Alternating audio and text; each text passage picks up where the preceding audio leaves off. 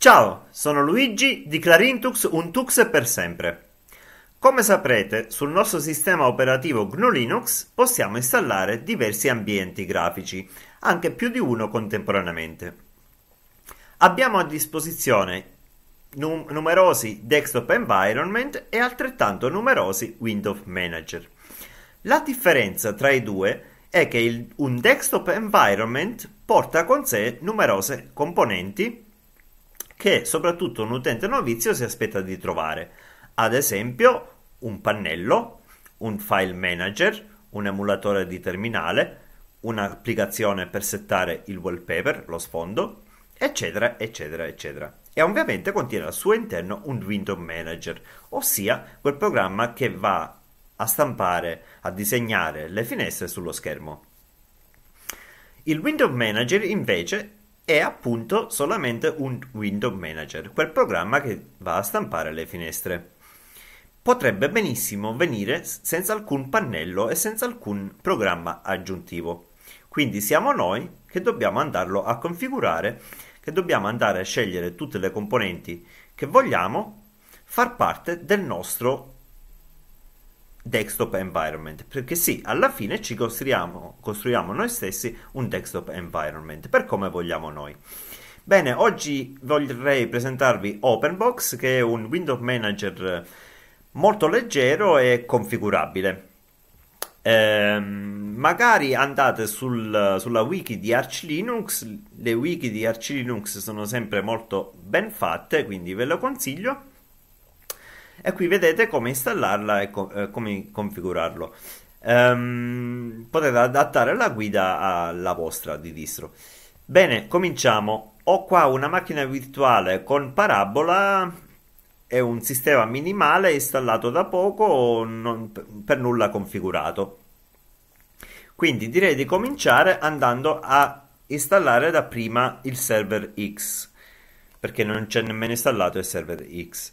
Quindi se siete su una distribuzione basata su Ubuntu oppure su Debian, andate con sudo apt install, sudo apt install e poi il nome dei pacchetti. Se siete ad esempio, non so, su Fedora, dn, sudo dnf install. Se siete su una distro basata su Arch, come nel mio caso, sudo pacman e installiamo Xorg. E poi openbox. Diamo invio, password.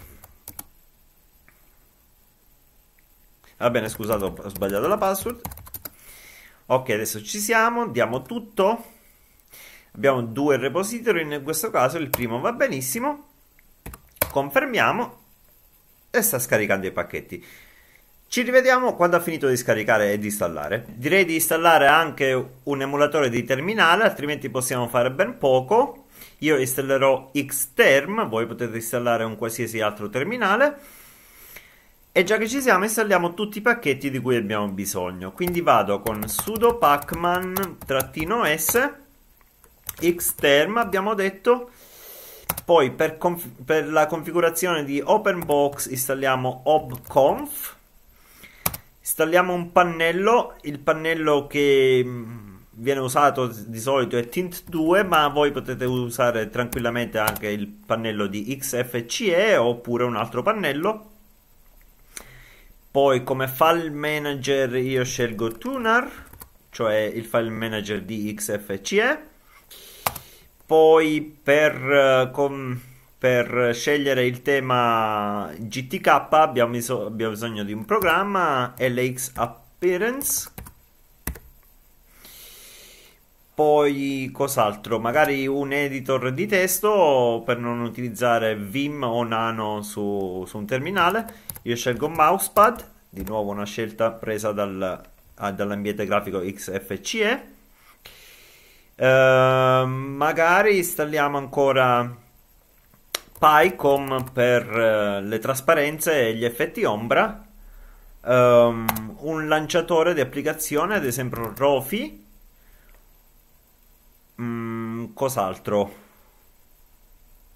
Va bene, direi che questo può bastare per il momento. Quindi installiamo. Metto in pausa e ci rivediamo dopo. La wiki di Arch Linux consiglia anche di installare dei font, quindi facciamolo sudo pacman-s ttf liberation e ttf déjà vu. Ok, va bene. Non ho installato alcun login manager. Voi probabilmente avete già un login manager sul vostro sistema oppure ne potete installare uno, ad esempio LightDM quindi installate LightDM e LightDM GTK Greeter. Non lo faccio, vi mostro invece come accedere semplicemente dalla console TTY, da TTY1, andando a creare il file .xinitrc, xinitrc.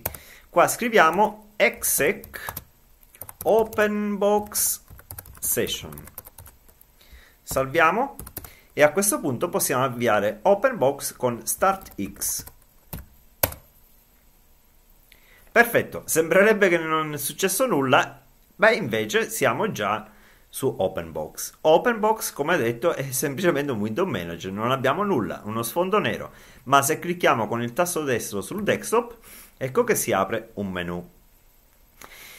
Bene, eh, avendo installato Xterm dov- non dovrebbe essere difficile avviarlo perché Xterm diciamo che è il, l'emulatore di terminale che i window manager di solito si aspettano di trovare. Se andiamo su terminals abbiamo Xterm, esatto. E questo è Xterm non, non configurato in nessun modo. Magari mi andrò a scaricare la configurazione che ho sul mio repository GitHub, ma intanto direi di andare a copiare i file di OpenBox. Andiamoci con il file manager tuner, quindi file manager tuner e sul file system ingrandisco un po', ok, andiamo su etc, poi su dove xxx xdg qua abbiamo openbox copiamo questi file su, sulla directory nascosta config eh, quindi selezionate qua per vedere eh, la visualizzazione dei file nascosti andate sulla directory config create la cartella openbox e qua copiamo tutti i file. Andiamo sul file autostart, faccio apri con mousepad e scriviamo in fondo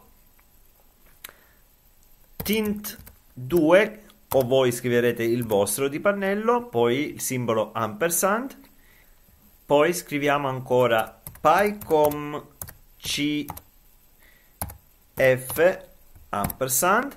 Questo come detto è per eh, le trasparenze per gli effetti ombra. Poi scriviamo ancora nitrogen trattino trattino restore ampersand per il momento può bastare quindi salviamo e chiudiamo Nitrogen però non ha al momento alcun wallpaper, alcuno sfondo. Io direi di scaricarmi direttamente gli sfondi che ho sul mio repository GitHub. Quindi apro di nuovo Xterm e vado con un git clone. Non ho nemmeno installato git, prima installo git. Sudo pacman. Git.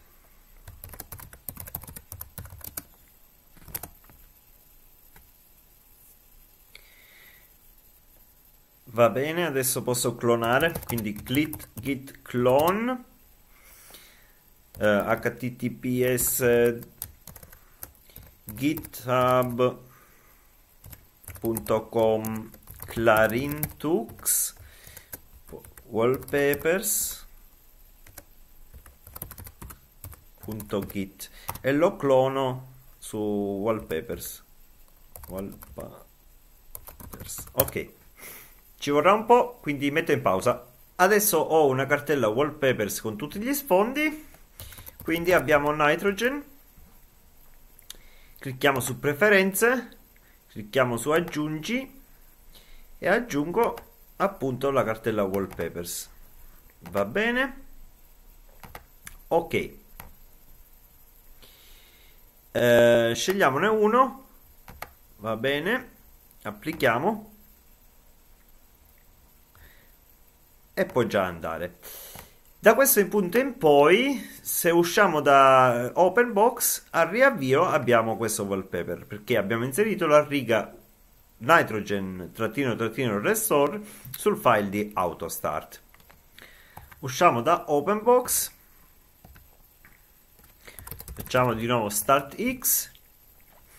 E vediamo che questa volta è partita il pannello tint 2 le trasparenze e abbiamo il wallpaper. Bene siccome il menu di OpenBox eh, contiene delle voci che non sono installate sul sistema direi di sistemare la cosa andando ad installare Menu Maker sui repository di Arch è presente questo pacchetto, su altri repository probabilmente no, quindi vi dovete cercare il programma, eh, probabilmente compilarlo da sorgenti. Comunque io vado con sudo pacman trattino s m maker o menu maker, non mi ricordo, menu maker sì, menu maker, ok.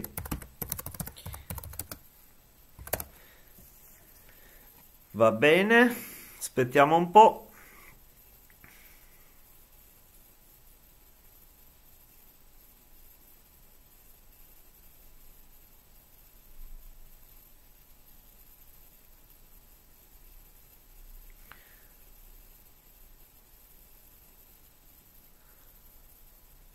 Ok e adesso posso generare il menu con mmaker trattino vf open box 3 trovate tutto sulla wiki di arch ok fatto. Dobbiamo reconfig reconfigurare openbox con reconfigure openbox e a questo punto vediamo che il menu è stato aggiornato e troviamo ad esempio mousepad come editor di testo. Insomma solo quello che abbiamo davvero installato sul sistema. Bene direi di cambiare l'aspetto dell'applicazione GTK con LX Appearance che abbiamo installato. Lo troviamo su System Settings Customize Look and Feel. Eccolo qua. Come vedete non abbiamo temi installati eh, per brevità installerò un tema presente sui repository di Arch, probabilmente anche su altre disto. Vado con sudo pacman s arc arc team. No, non era così? Arc GTK team, sì. Ok. E ci sono anche le icone, va bene, installiamole direttamente arc icon team.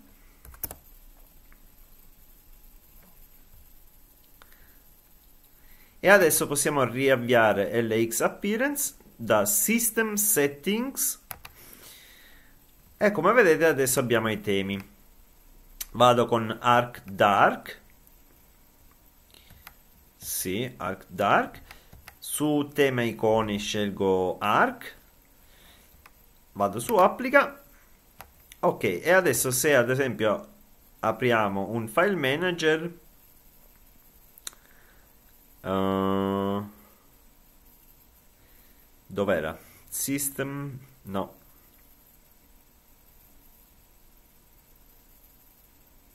Tunnel file manager. Ok. È cambiato l'aspetto dell'applicazione GTK adesso modifichiamo anche la barra del titolo con obconf che troviamo su System Settings Open Box Configuration Manager. Eccolo qua. Aspettate che sposto la camera. direi di andare con questo ok già è cambiata la barra del titolo qua possiamo anche cambiare diverse cose ad esempio il font utilizzato ehm, cosa mostrare e non mostrare sulla barra del titolo. Poi abbiamo ancora eh, i desktop il, il numero dei desktop, desktop virtuali eccetera. Va bene questo può bastare. Quindi come vedete abbiamo già eh, configurato un po' OpenBox e l'aspetto è sicuramente migliorato ma si può fare molto di più. Va bene siccome il video già sarà abbastanza lungo eh, vi mostro un'ultima cosa. Apriamo il file manager andiamo su config poi su openbox ed rc.xml è il file su cui troviamo tutte le configurazioni. Ingrandisco un po', ad esempio vedrete quanti desktop uh, sono presenti, quanti desktop virtuali. Forse abbiamo già passato questa, il numero dei desktop virtuali, va bene, non fa nulla.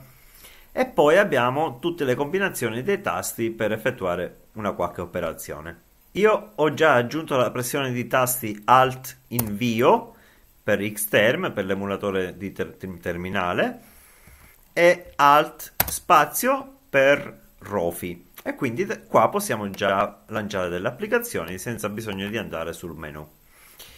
Come ho fatto? Va bene, ritorniamo sul file.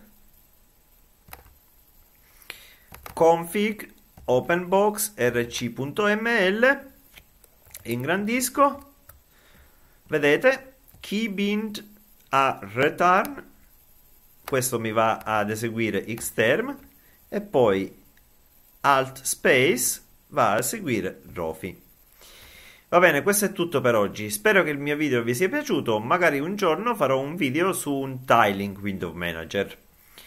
Alla prossima. Ciao da Clarintux